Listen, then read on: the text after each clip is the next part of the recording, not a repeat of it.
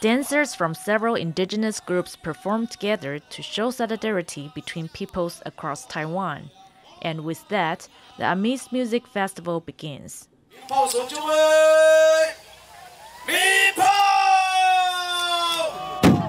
The decade old festival began by celebrating the music and culture of the indigenous Amis 'Etolan community, but has grown over the years.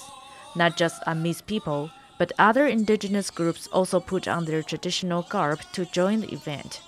The festival is normally held in November, but it was pushed forward this year to avoid a northeastern monsoon. Held right before Taiwan's National Day, the organizers say people like the coincidence. 跟部落有一个幽默跟自嘲，就说：哎，在中华民国来之前，我们已经有自己的国啦，所以就好像比国庆日再早一点点这样。 The Amis Music Festival sits on 'Etolan's sacred land, Batsifilan, which lies in between mountains and sea in the eastern county of Taitung. For years, the indigenous Amis 'Etolan tribe has objected to a plan to build tourist accommodation on this land. They declared this area as part of their traditional territory in 2017 and say they're determined to safeguard their autonomy. During the festival, the flag of the Adora nation can be seen all over the town. The performances are mostly by indigenous people, and vendors are limited to selling indigenous themed products. To the 'Etolan, the festival lays the foundation for the autonomy they hope for. 族民带来什么？带来一个就是文化的传承，跟每一个部落的一个团结、一个结合。另外一个是这边的民宿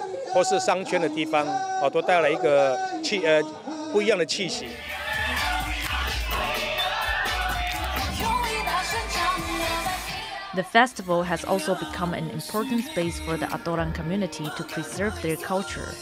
This dance is about an Amis community upbringing.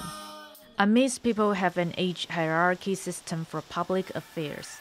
Older people lead the young and at the festival, young girls are given the task of performing a dance. A young leader says it's a way to help the younger generation feel better about living in remote areas.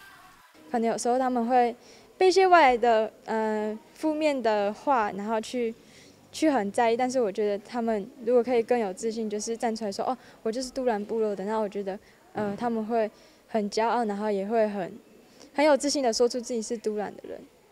Having suffered generations of injustice by ruling parties, Taiwan's indigenous people are working to regain representation of themselves.